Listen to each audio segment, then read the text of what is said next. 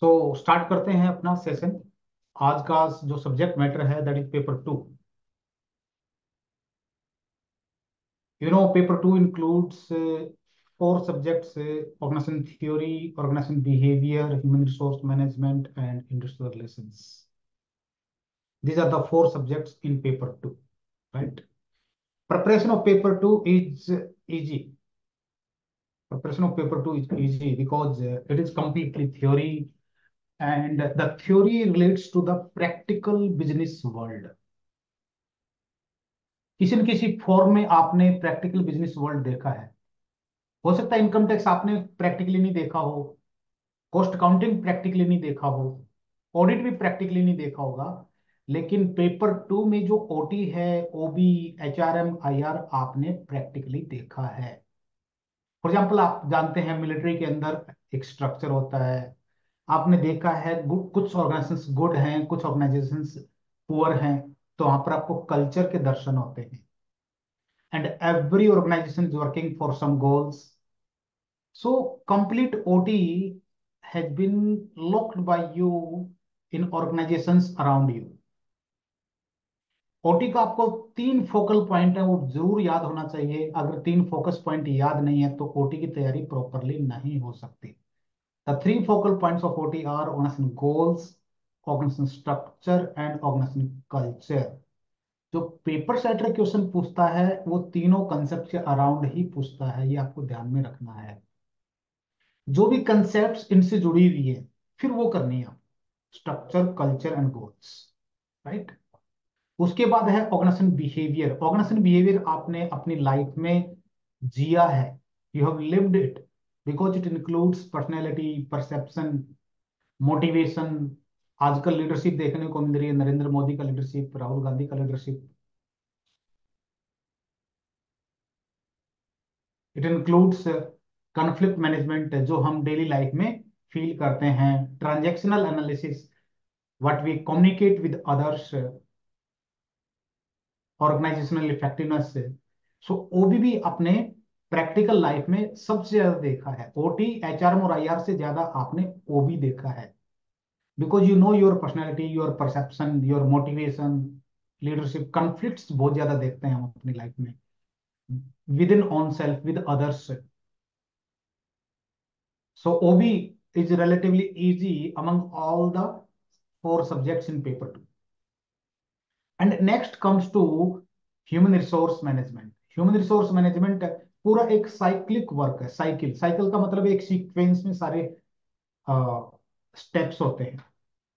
जब आप human resource management की प्रिपरेशन करेंगे तो आपको ये लगेगा कि सब एक जैसा लग रहा है। वो एक जैसा इसलिए लग रहा है कि everything is part of a pipeline वो पाइपलाइन स्टार्ट होती है एचआर प्लानिंग से, फिर recruitment selection training development performance appraisal compensation management retention strategies labour turnover welfare etcetera तो अगर स्टार्टिंग बढ़िया है तो हायरिंग भी बढ़िया होगी सिलेक्शन भी बढ़िया होगा ट्रेनिंग भी अच्छी होगी परफॉर्मेंस भी बढ़िया आएगा पे भी अच्छा करेंगे वर्कर को, और वो वर्कर रिटेन भी होगा। और आपने मान लीजिए एचआर प्लानिंग में ही गड़बड़ कर दी जॉब की स्टडी करने में ही गड़बड़ कर दी तो फिर सही right man of the right job hire नहीं कर पाएँगे आप। अगर रॉन्ग पर्सन हायर किया है he won't be able to perform well आपको फायर करना पड़ेगा पनिश करना पड़ेगा। He will leave the organisation relations bad होंगे ऑर्गेनाइजेशन की इमेज खराब होती है right so all the chapters of H R integrated पूरे कॉमर्स में ऐसा कोई सब्जेक्ट नहीं है जिसमें चैप्टर्स इतने ज़्यादा इंटीग्रेटेड हों। तो एच आर एम में वैरायटी बहुत है, लेकिन वैरायटी इंटरलिंक्ड है।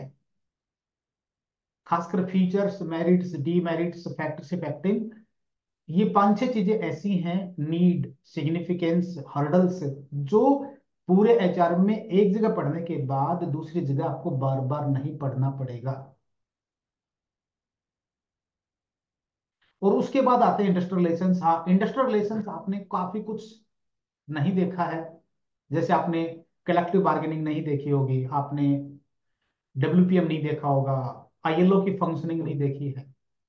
लेकिन फैमिली के जो रिलेशन है उससे मैच करता है इंडस्ट्रियल रिलेशन जैसे फैमिली में कोऑपरेशन कन्फ्लिक्ट प्यार, तकरार दोनों चलते रहते हैं, उसी तरह से इंडस्ट्रियल ऑर्गेनाइजेशंस में और इंडस्ट्रीज़ में कोऑपरेशन एंड कॉन्फ्लिक्ट चलते रहते हैं। जहाँ पर कोऑपरेशन है, वहाँ वर्कर्स पार्टिसिपेट भी करते हैं। प्रोडक्टिविटी होती है वर्कर्स को अच्छा कंपनसेशन मिलता है रिलेशंस गुड रहते हैं। And where there are conflicts you know there is role of unions also there is role of courts also disputes also strikes भी होती है वहाँ पे. वायलेंस भी हो सकता है. प्रोडक्टिविटी भी लो होती है. और बैड रिलेशंस का एक साइकिल बन जाता है. और जहाँ पर बैड रिलेशंस है वहाँ पर आईएलओ भी अपना रोल प्ले करना स्टार्ट कर देता है. सो so, आईआर के टॉपिक्स भी इंटर रिलेटेड है लेकिन ज़्यादा पढ़ा नहीं है पर इजी है. सबसे ज़्यादा इजी है आईआर क्योंकि इसमें टेक्निकल आपको जार्गन्स नहीं मिलेंगे. बस एक बार कोई वर्ड देखना पड़ेगा टेक्निकल जैसे collective bargaining workers and managers bargaining with one another together that is collective bargaining उसके बाद इसकी पूरी कंसेप्ट आपको अच्छी लगेगी, आसान लगेगी. वर्कर्स पार्टिसिपेशन इन मैनेजमेंट है मतलब डिसीज़न मेकिंग में वर्कर्स का इन्वॉल्वमेंट अब इतना जानने के बाद बाकी चीज़ें आसान लगेंगी. Industrial dispute means dispute between management and workers तो इसमें कुछ ही टर्म्स हैं जो आपको टेक्निकल लग सकते हैं। One percent only ninety nine percent of the I R is fully logical easy understandable और बार बार रिवाइज नहीं कर करना पड़ता आई आर ओटी रिवाइज करना पड़ता है कुछ एच आर भी करना पड़ता है। आई आर में कम से कम रिविजन की ज़रूरत पड़ती है। इसलिए जब आप आई आर के क्वेश्चंस देखेंगे तो आपको ऐसा लगेगा कि year after year questions are repeated by civil services that is repeated by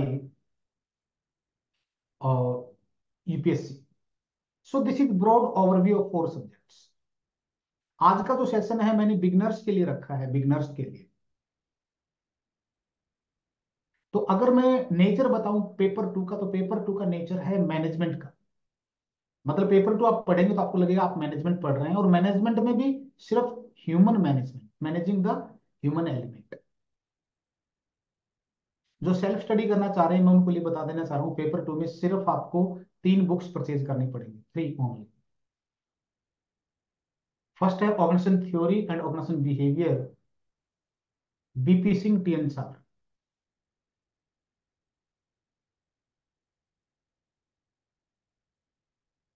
organisation theory and organisation behaviour BP Singh T N सार अगर आपके पास ये बुक है तो एक अच्छा बेस बिल्ड करती है। इससे बढ़िया book organisation theory organisation behaviour पे नहीं है। BP Singh and T N मैं लिख देता हूँ। BP Singh and T N हमने भी इस बुक को काफ़ी रेफर किया है, अपने नोट्स बनाने में रेफर किया है। OT and OB by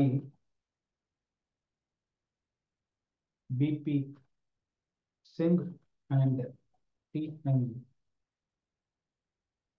छात्रा लेकिन इस बुक के सारे चैप्टर आपको नहीं करने हैं, इसमें वही चैप्टर करने हैं जो आपके यूपीएससी के सिलेबस में है इस बुक में लगभग वन थर्ड चैप्टर आपके काम के नहीं only two third chapter OT और ओबी से लेंथ है, वो स्टडी करना है। एक खास बात यह है इस बुक की कि इसके एंड में क्वेश्चंस दे रखे हैं चैप्टर के एंड में, हर चैप्टर के एंड में।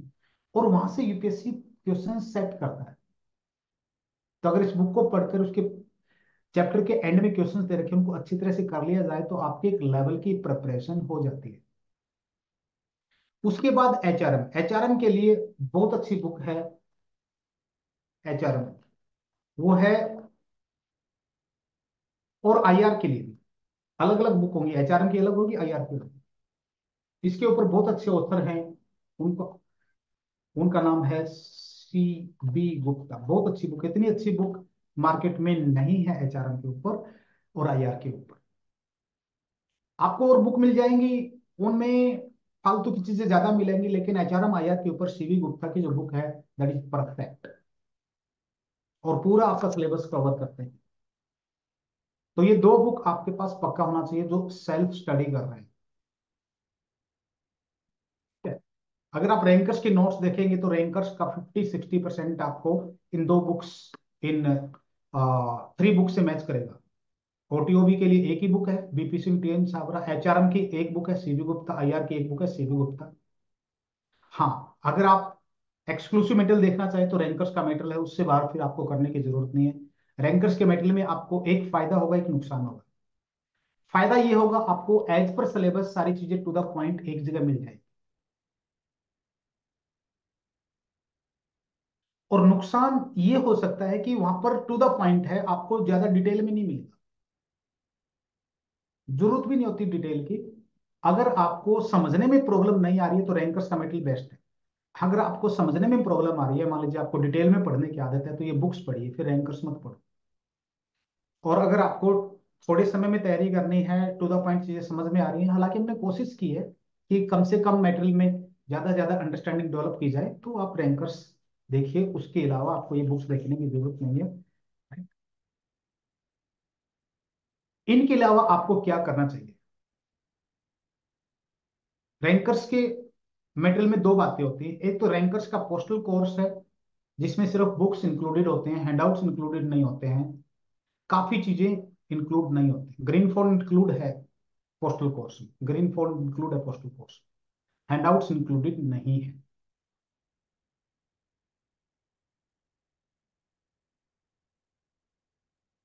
तो रैंकर्स का मेटेरियल दो तरह से आप देख सकते हैं। अगर आप सिर्फ़ पोस्टल कोर्स कर रहे हैं तो हमारी दस ग्यारह किताबें हैं, वो मिलती हैं। कि वो पूरे सिलेबस को कवर करती हैं। ठीक है? हाँ। अगर आपको और ज़्यादा डिटेल में कवरेज करनी है तो रैंकर्स का मेटेरियल प्लस क्लास नोट्स वो करना होगा। क्योंकि काफ़ी इंपॉर्टेंट चीज़ें लेटेस्ट चीज़ें क्लासेस में करवाते हैं, वो मेटेरियल में नहीं आ सकती है। राइट चलिए वापस आते हैं। तो ये जो तीन किताबें हैं ओटीओबी की एच आर ओटीओबी एक किताब आएगी H R M I R का एक और आई आर का एक, तीन किताब। इसके अलावा आपको क्या करना है? इसके अलावा आपको तीन चीज़ें और करनी हैं। आपको powerful quotations quotations on both the papers on paper two हम अपने स्टूडेंट्स को देते हैं। आप नेट से पावरफुल कोटेशंस निकाल सकते हैं। हमने निकाली हुई हैं, जो भी पोस्टल कोर्स ज्वाइन करते हैं। हम उनको पावरफुल कोटेशंस की बुक देते हैं अराउंड फिफ्टी पेजेस हैं। क्योंकि अगर आप पावरफुल कोटेशंस अपने आंसर्स में डालते हैं तो मैं कह सकता हूँ कि कम से कम आपको पाँच परसेंट एक्स्ट्रा मार्क्स मिलेंगे। अगर आपको हंड्रेड मार्क्स मिल रहे हैं अपने दम पे तो एक सौ पाँच नंबर मिल जाएँगे। पाँच नंबर काफ़ी होते हैं। पाँच नंबर में पचास रैंक ऊपर चला जाता है। और दोनों पेपर में यूज़ करोगे तो आपको 10 से 15 नंबर का बेनिफिट हो सकता है पावरफुल कोटेशन लगाने पर दूसरा जो एडिशनल वर्क करना है, वो करना है आपको डायग्राम्स डायग्राम्स ग्राफिक्स चार्ट्स इनका यूज़ बहुत करना है आपको। कोई भी दो चीज़ें आपस में लिंक्ड है तो उसका डायग्राम दिखाइए। सर्कुलर रिलेशनशिप है तो डायग्राम दिखाइए। कंपटीशन है तो डायग्राम दिखाइए। डायग्राम क्या करते हैं? डायग्राम इस बात के इंडिकेटर हैं कि आपको कंसेप्ट बहुत अच्छी तरह से पता है। अपने आंसर्स में डायग्राम ज़रूर डालें, लेकिन डायग्राम टेक केयर सेंसिबल होना चाहिए। तो मैं यहाँ पर लिखूँगा सेंसिबल एंड रेलिवेंट कहीं पर भी कोई डिसीज़न ट्री बना देना, कहीं पर भी कोई एरो बना देना, वो डायग्राम नहीं होता। किसी बड़ी कंसेप्ट को इफ़ेक्टिव मैनर में लॉजिकल मैनर में प्रेजेंट करने का जो तरीका है, वो डायग्राम है।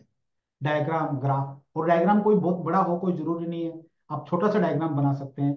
वीसी साइकिल का डायग्राम बना सकते हैं। ट्राइंगल बना सकते हैं स्क्वायर बना सकते हैं। स्मॉल स्मॉल डॉट्स बना सकते हैं। स्माइलीज बना सकते हैं। साइड फेस बना सकते हैं। जैसे यूनियनिज्म में डायग्राम में जनरली बताता हूँ। इंडिविजुअली सैड फेस बनाइए, और जब वर्कर्स यूनियन में आ जाते हैं तो उसके लिए हैप्पी फेस बनाइए। वहाँ पर डायग्राम वैल्यूएबल होता है। तो पहला था पावरफुल कोटेशन दूसरा है डायग्राम और तीसरा और है। थर्ड जो वो है वो corporate and example corporate examples corporate plus government plus NGO examples ये इंडियन और ग्लोबल दोनों होने चाहिए। ऐसा नहीं सिर्फ़ इंडियन डालें, आपका माइंडसेट ग्लोबल होना चाहिए।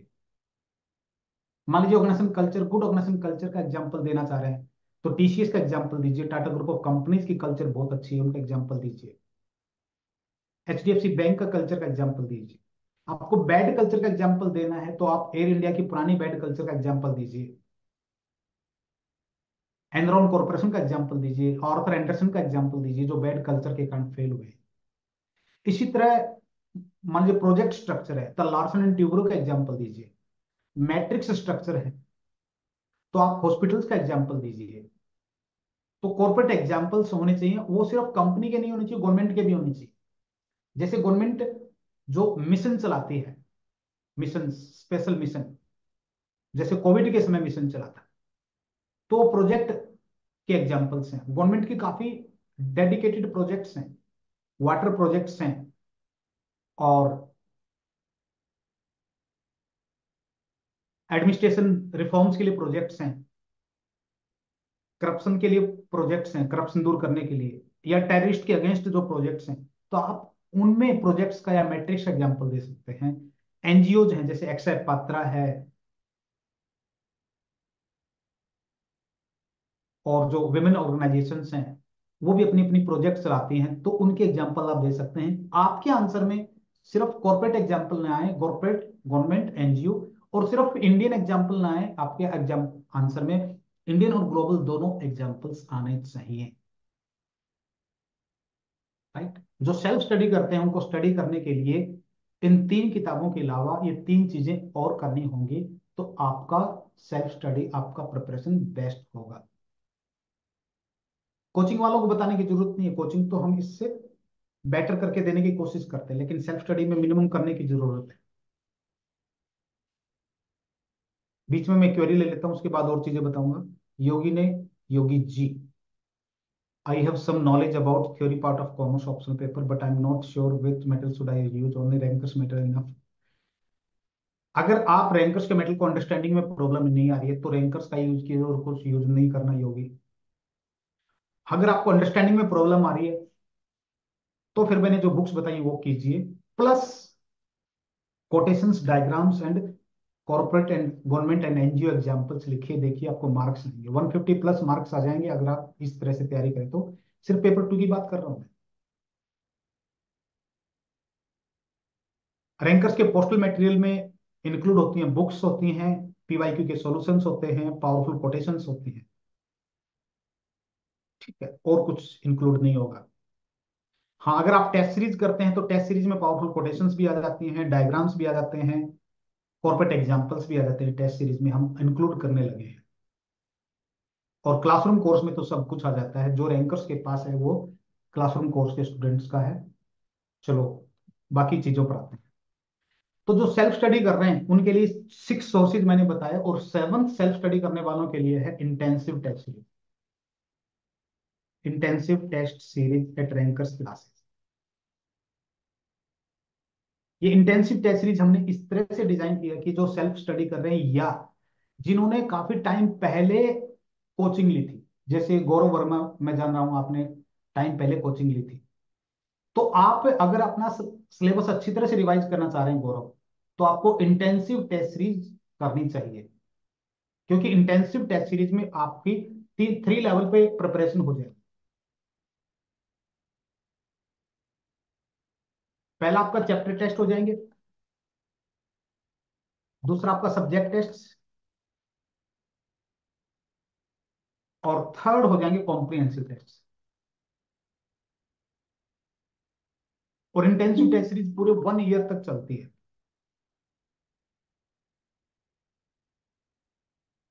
It will take one year one year इसका मतलब यह है कि जो ट्वेंटी ट्वेंटी फाइव की तैयारी कर रहे हैं this is the right time 21st June is the right time to start preparation with intensive test series self study के साथ रैंकर्स का सिर्फ़ एक कोर्स हम रिकमेंड करेंगे, वो intensive test series intensive test series में आपको ये भी मिल जाएगा पावरफुल कोटेशंस भी मिलेगा डायग्राम्स ग्राफिक्स भी मिलेंगे और कॉर्पोरेट एग्जांपल्स के ऊपर भी वीडियोज़ मिलेंगे। क्योंकि हमने चीज़ें नई ऐड की हैं वैल्यू एडिशन के तौर सो पेपर टू के अंदर ये कुछ प्रिपरेशन की रिक्वायरमेंट है। Now I will take queries for next ten minutes and thereafter the session will be over आप अपनी क्वेरीज पुट करें।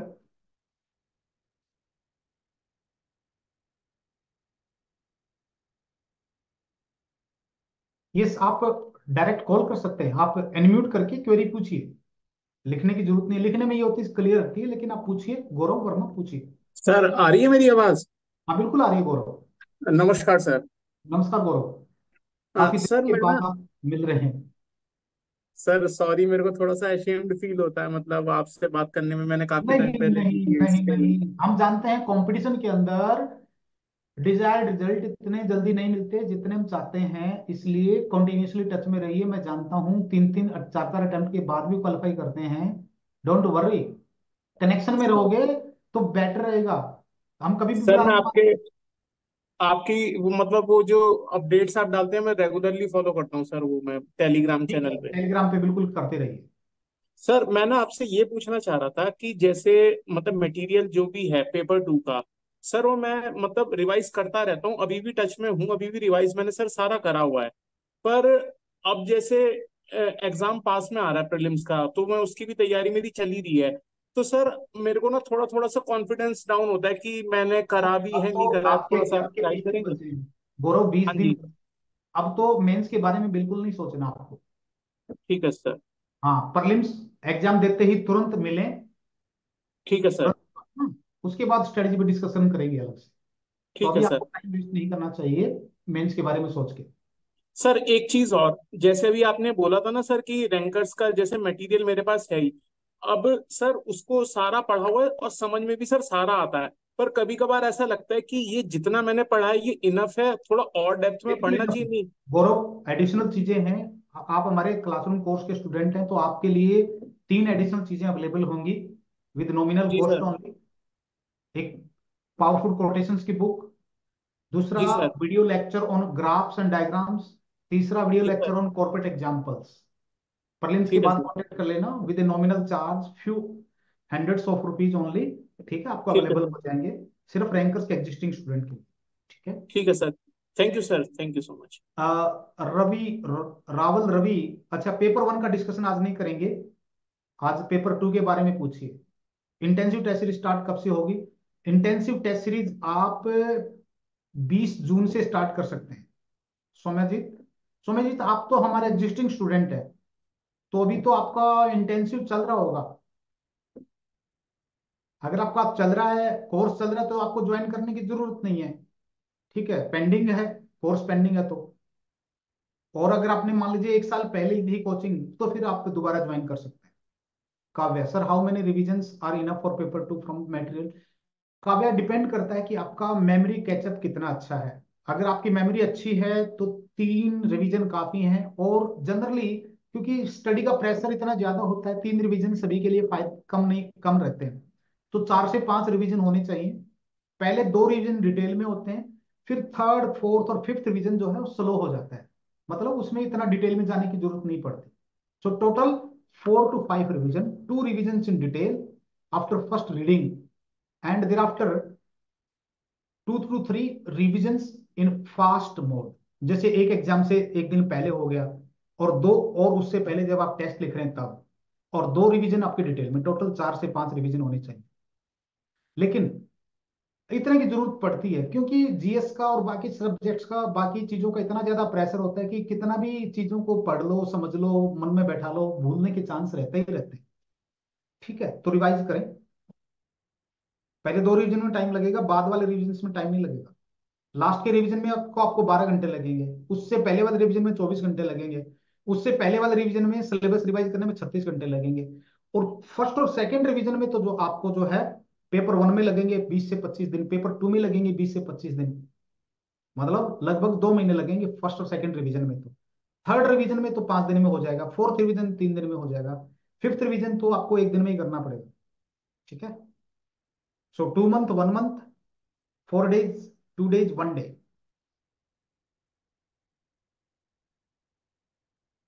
prelims के बारे में मैं काव्या गाइड नहीं कर पाऊँगा। प्रलिम्स के ऊपर जो ना शायद अभी जीवन सर गाइड करेंगे। पाँच बजे उनका सेशन है। जीवन सर का पाँच बजे सेशन है ना? ठीक है? इसी पे होगा। टेलीग्राम चैनल पे डिटेल डाल रखी है हमने।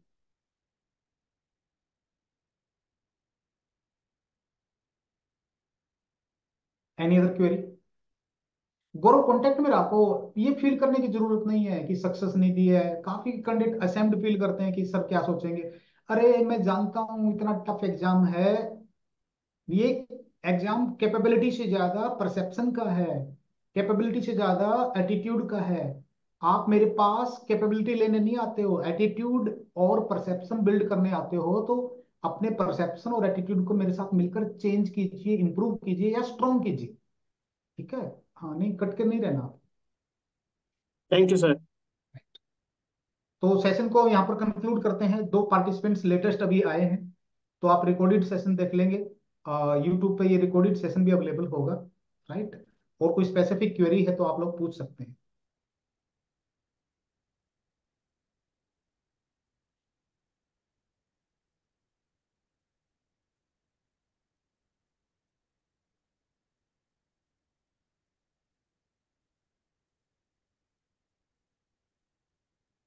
तो सेशन यहीं पर कंक्लूड करते हैं। और सेशन के साथ मिलेंगे। नेक्स्ट वीक अनाउंस कर दिया जाएगा। सभी से रिक्वेस्ट है कि आप सजेशन है कि आप टेलीग्राम चैनल पर जुड़े रहें, उस पर लेटेस्ट इन्फॉर्मेशन डालते हैं मोटिवेशनल भी डालते हैं।